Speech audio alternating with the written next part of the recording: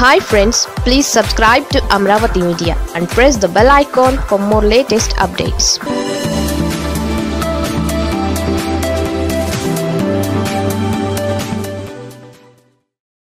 వీళ్ళు అటు వాళ్ళు ఇటు. జగన్ కొత్త ఆలోచన.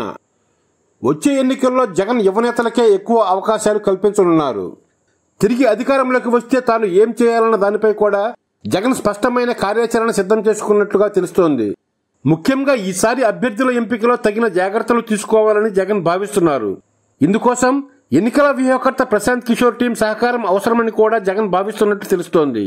జగన్ వచ్చే ఎన్నికలకు యువ టీంతోనే వెళ్ళాలనే ఆలోచనలో ఉన్నారు.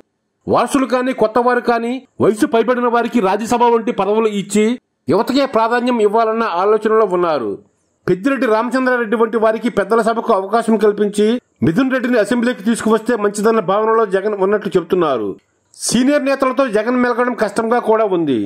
కేవలం మిథున్ రెడ్డి మాత్రమే కాదు యువ ఎంపీలైన లావు శ్రీకృష్ణదేవరాయలు మార్గాని భరత్ నందిగం సురేష్ గోరంట్ల మాధవ్ కొత్తగా తిరుపతి ఎంపీగా ఎన్నికైన గురుమూర్తి వంటి వారిని కూడా అసెంబ్లీకి తీసుకురావాలన్న ఆలోచనలో ఆయన ఉన్నారు. పార్లమెంటుకు మాత్రం సీనియర్ నేతలను పంపాలని డిసైడ్ అయినట్లుగా పార్టీ వర్గాల నుంచి అందుతున్న సమాచారాన్ని బట్టి తెలుస్తోంది. వీరికి నియోజకవర్గాలను కూడా ఎంపిక చేశారని పార్టీలో టాక్ వినిపిస్తోంది.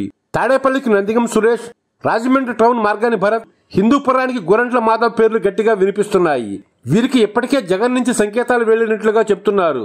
ఈ నియోజకవర్గాల్లో ప్రత్యేక శ్రద్ధ పెట్టాలని జగన్ సూచించడంతో ఈ ఎంపీలు ఇప్పటికే నియోజకవర్గాలపై పట్టు కోసం ప్రయత్నిస్తున్నారని తెలిసింది.